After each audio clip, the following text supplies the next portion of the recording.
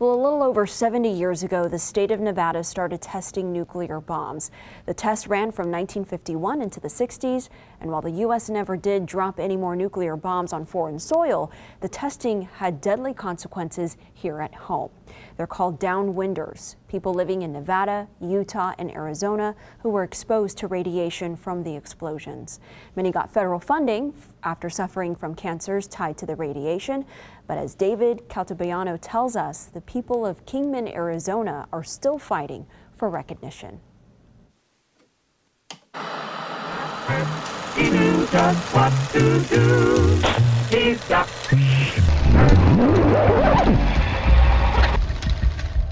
our country and all its people could be in danger of nuclear attack.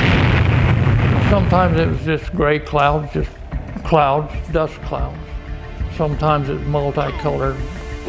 One. A series of civil defense tests were made to discover the effects of atomic heat on American homes. My oldest sister, Judy, she had brain cancer, and she died at the young age of 26. Well, it was common knowledge that a lot of people were getting sick. It was a different time when the end of a hot war ushered in a more dangerous era. So the splitting of the nucleus of the atom. A period of time when the unthinkable was the push of a button away. People losing part of their flesh besides being burnt. The above ground nuclear testing to fight back was once a celebration. Moment in history that we were being able to see this wonderful thing that was happening.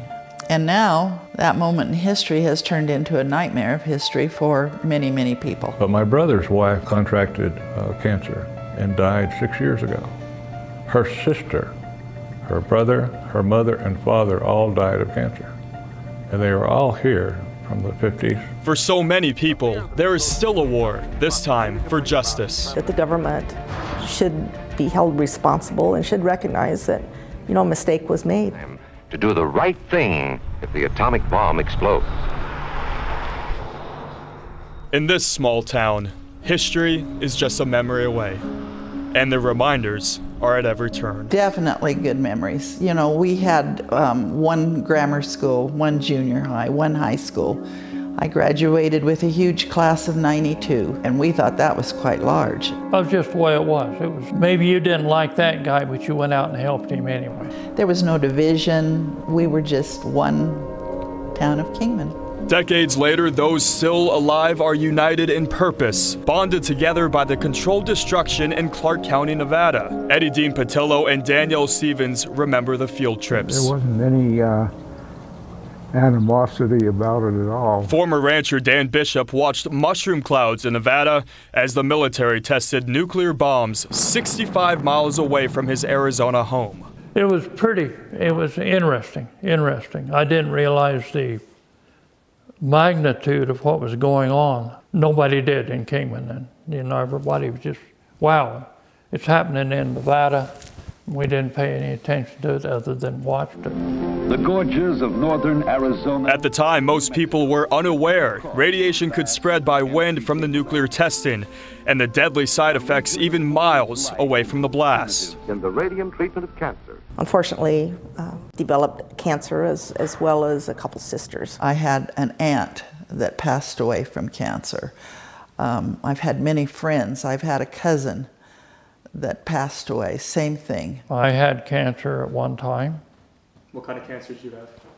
I had prostate and bladder cancer, and a couple of cousins passed away. It affected a lot of our family. You've had three types of cancer? Yes. Eddie and Danielle are still fighting cancer. Both of them know lives lost to the unforgiven disease, including Eddie's sister. It was a heart-wrenching story. They, they all had cancer and cancer with their family. In 1990, the United States government tried to right its past wrongs. Legislators passed the Radiation Exposure Compensation Act, or RECA. It gave cancer victims of the Cold War nuclear testing in Nevada a one time $50,000 payment and recognition as a downwinder. The federal government doesn't recognize people in the southern half of Mohave County as downwinders, even though people in surrounding counties are. Historically, when you go back to the 50s, when the uh, experimentation was, was happening and the explosions were happening, the predominant population in Mohave County was here in the Kingman area. But the amendment left out both Kingman and the area that neighbors Clark County, Nevada, home of Las Vegas, which is where the testing happened. Think it's about money? I believe so. I really do.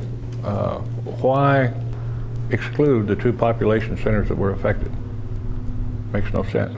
A state report from 1999 to 2001 raises eyebrows, with Mohave County having one of the highest cancer rates in the state. I was surprised at not necessarily the types of cancers because um, we also have high smoking rates in our county, and some of those cancers could be tied to that as well. But looking at how nuclear testing overall could affect uh, the cancer rates, I would see that there would be issues. How are you so sure that this nuclear blast is related to these cases of cancer? I don't think anybody can be 100% sure, but the statistics show that the cancer rate in Mohave County uh, is much higher than the surrounding counties.